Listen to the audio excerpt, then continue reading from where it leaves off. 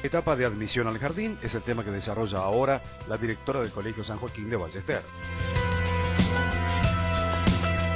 Hoy vamos a abordar el tema de la admisión en el Jardín de Infantes eh, de San Joaquín. ¿Por qué es tan importante la parte de admisión, sobre todo en un proyecto bilingüe?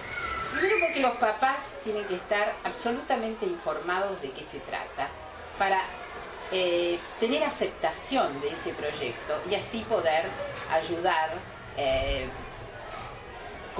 colaborar, estar atentos a todo el desarrollo que vayan a tener sus chicos, porque un proyecto bilingüe implica un compromiso en el largo plazo. Entonces, Marcela, la directora de jardín, nos va a explicar eh, cuál es el procedimiento de admisión para poder acceder a una vacante en el colegio.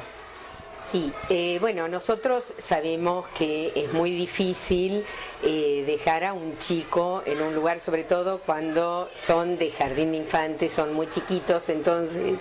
lo que nos interesa es que conozcan nuestro proyecto principalmente a través de una primera entrevista, eh, sacándose todas las dudas que ellos tengan, conociendo tanto el proyecto de castellano como de inglés, el saber cómo va a seguir desde salita de dos a cinco años, para que luego, una vez que estén este, conformes, que hayan conocido las instalaciones y haber tenido esta primera entrevista, la posibilidad de que eh, en un segundo momento traigan a sus alumnos, a sus hijos, este, y conozcan también la institución en funcionamiento. Por eso yo creo que es importante esas dos primeras entrevistas antes que los este, inscriban y eh, después, una vez que ellos decidan inscribirlos, se les solicita, si vienen de otro colegio, que traigan el registro narrativo para luego cumplimentar con documentación y a través vía online de este, la ficha eh, con todos los este, datos del alumno. Eh, después este, tendremos otra eh, reunión general en el mes de diciembre eh, para que bueno se,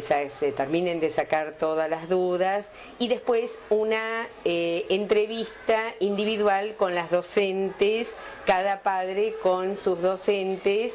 y nos terminen, terminen de sacar todas las, las dudas que tenemos. como ven, el proceso de admisión es práctico, aunque parezca un poco largo. Pero lo interesante es que eh, al elegir el colegio donde yo quiero que mi hijo estudie, yo esté comprometido y convencido que es el mejor lugar eh, de lo que yo conozco.